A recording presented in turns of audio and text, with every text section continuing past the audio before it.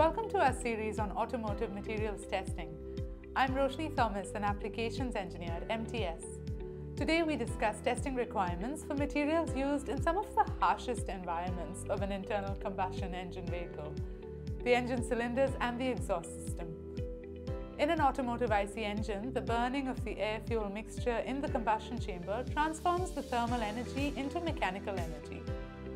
The thermal energy of the hot gases increases the temperature of the engine, the turbocharger, and the exhaust system.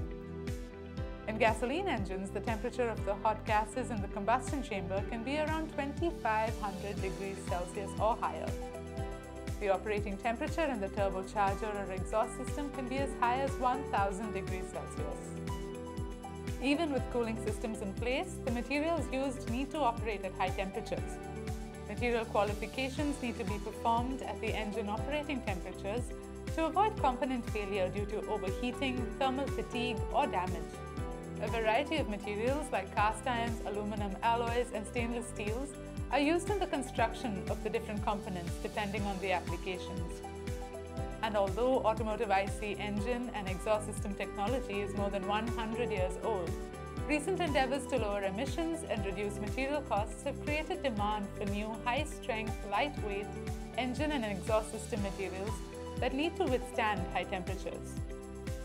As a high temperature testing leader, MTS has engineered equipment to validate critical mechanical properties of materials up to 1500 degrees Celsius.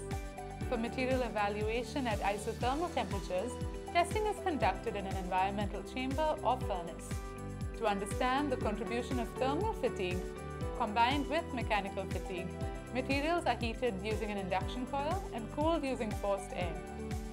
MTS offers a complete range of accessories including grips, fixtures, extensometers and material testing software to comply with testing standards like ASTM and ISO.